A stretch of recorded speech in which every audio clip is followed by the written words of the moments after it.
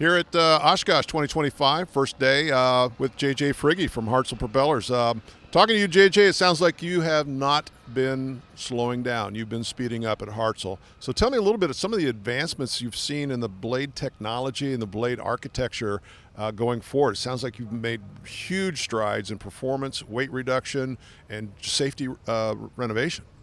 Yeah, thanks, Rex. We we have really been dedicated to innovation on the blade technology side and really focused on carbon fiber for quite some time.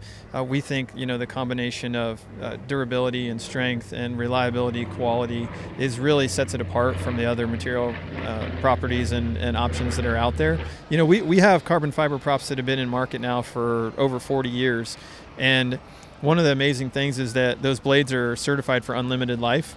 And so, in many cases, especially with some fleet operators operating in some pretty rugged conditions, those props come in every four, five, six years at overhaul cycle, and the blades get stripped down, they get checked, and they, they pass the, the inspection, they get repainted, and they go right back in there. So, we've got blades with over 50,000 flight hours and have been through six, seven, eight overhaul cycles. We really believe in the technology. We've been doing it for a long time, um, but now we have better tools to design whether that's the blade itself or integrating it specifically with an airframe like we did with Beta most recently. This AAM space is so intriguing because each one of these vehicles is fairly unique. What Beta's doing with the Alia is pretty remarkable to have an all electric type designed airplane for whether that's cargo or, or military or civilian transport. And to be able to do that with, you know, essentially a, a five blade fixed pitch ground adjustable propeller, which in our point of view is, is a fairly simple mm-hmm. but a very efficient design. And that airplane just performs incredibly. And you know, again, as as you mentioned, we've been working with them for four years now, and, and really custom designed that prop for the Beta Alia and partnered with their electric motor. And so we're excited about that. We're excited about you know whether it's hydraulically actuated or potentially electrically actuated uh, or fixed pitch ground adjustable like with beta for sure we're looking at different retention and hydraulic uh, systems to be able to custom design what the market needs in this emerging space. Now one of the other things that we notice is you're growing and you've had several acquisitions. Can you tell me a little bit about some of the acquisitions you brought on board and what that means to you as a company yeah, I would first highlight Whirlwind Propeller.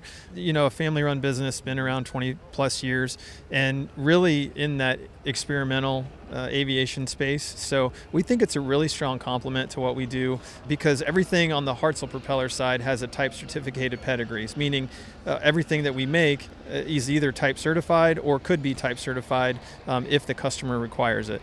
On the Whirlwind side, it's truly an experimental pedigree and it gives us the freedom, if you will, to design uh, airfoils that are safe but maybe not certifiable and really push the edges of performance and aesthetics and that sort of thing. So we're excited to bring Whirlwind on board. And then, you know, outside of that, we're really enthusiastic about growing our directly owned MRO network. So, propeller maintenance, repair, and overhaul is obviously a big deal. We have a recommended overhaul cycle for all of our props, and taking good care of your propeller is the smartest thing that you can do as a propeller owner. So, we've acquired five shops over the past 12 months, and we have plans to acquire several more here in the back half of 2025. And, you know, building out a really strong regional MRO network of directly owned shops really helps us take care of our customers more directly, provide uh, high quality maintenance, low turn times. We've got exchange pools and access to factory parts, and really uh, just bring some additional value to the customers.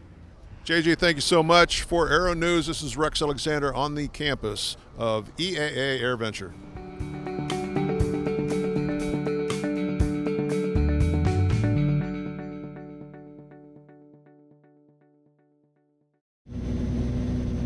My hip fuel gauge is really being weird. It's acting up again. We've got plenty of fuel, but those gauges really are not all that accurate.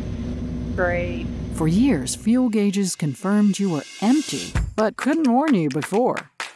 SAIS delivers certified full range accuracy because knowing before empty makes all the difference. Accurate fuel gauges.